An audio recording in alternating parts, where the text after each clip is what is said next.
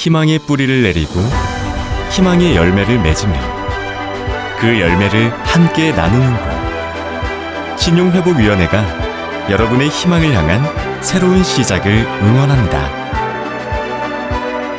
오늘보다 더 나은 내일로 나아갈 수 있는 디딤돌이 되겠습니다. 여기는 신용회복위원회입니다.